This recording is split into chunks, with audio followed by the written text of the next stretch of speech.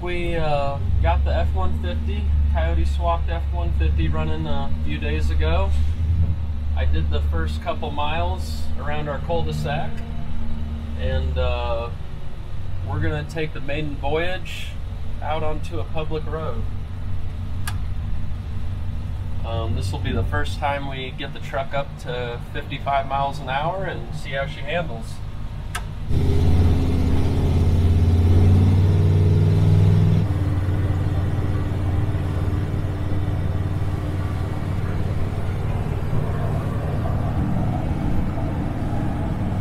Next step, we will uh, we'll be getting our hood hinges back from powder coat. We'll get the hood installed, and then I'm gonna take it to an alignment rack and get an alignment done on it.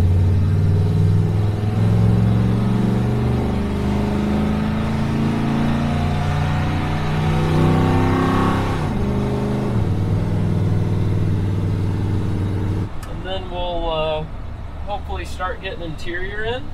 So we'll uh, get the brand new interior installed, get the wires buttoned up, tucked up now that we know everything's working as it should.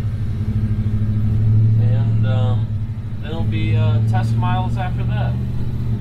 I want to do a minimum of 300 miles.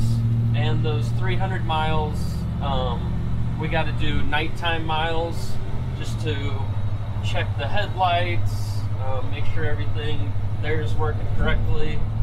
Um, want to do morning miles, daytime miles, um, and then we want to do miles where we actually go somewhere. Um, you know, try to reenact how the customer would use the vehicle. You know, not just out in the country miles where we're left alone, but go into the city, get to a lot of stoplights and stop signs, and make sure there's no overheating issues, and make sure the ride quality is still, you know, good in the city. And I want to make sure that every time I go to the gas station, at least three people tell me, nice truck. That's mandatory. That's mandatory. Yeah, we won't ship it unless we get uh, three gas station compliments.